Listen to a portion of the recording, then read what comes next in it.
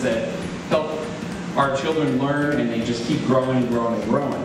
Every time that we read with them and we ask questions, we're growing those webs. Lo que sí se acuerdan la actividad que hicimos el- la semana pasada con el estambre, que se fueron Are any of them wrong? Were any of them wrong with their answer? ¿Ellos están equivocados en la, en la pregunta? No. No, ¿verdad? We don't know. I, I don't know. But we're gonna read the book and find out. No sabemos, pero Upstairs to go to bed. Thump, thump, thump, thump, thump, thump, thump. When they got upstairs, Mortimer's mother opened the door to his room. She threw him into bed and said, Mortimer, be quiet. And Mortimer shook his head.